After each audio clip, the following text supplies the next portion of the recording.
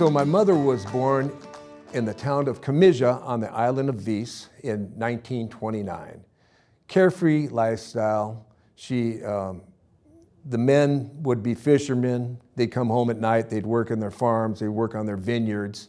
And my mother had a nice, nice life. There was another island uh, right off of Komiža named Biševo, where my mother would spend a lot of times. That's where their farm was.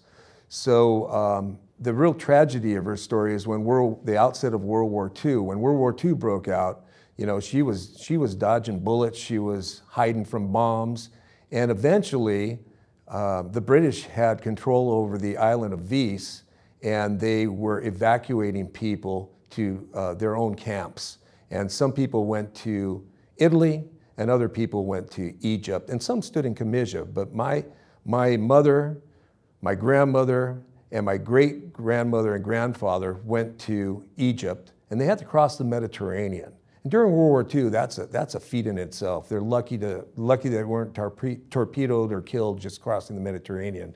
They landed in Egypt, I believe Alexandria, and they were shuffled onto cattle cars. My mom's telling me this story, and you know, she, she had tears in her eyes when she's telling me this story.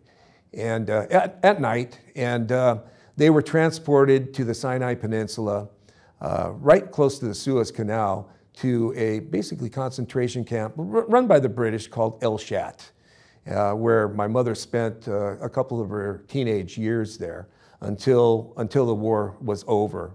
And uh, uh, when the war was over, there, you know, there weren't any telephones, there weren't any uh, Skype or anything like that. They got a letter. They saw a U.S. airman who knew San Pedro and was coming here to Los Angeles, and they got a letter and gave it to this U.S. airman who eventually got it to my grandfather who was living here in San Pedro and fishing. And uh, they were able to come to New York and by train make their way here to San Pedro.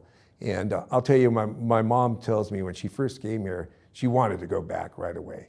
She went to San Pedro High, uh, you know, not knowing a word of English. But thank goodness she was in San Pedro. There was a lot of Croatians, friends, and that she made and uh, helped her get, get through that time.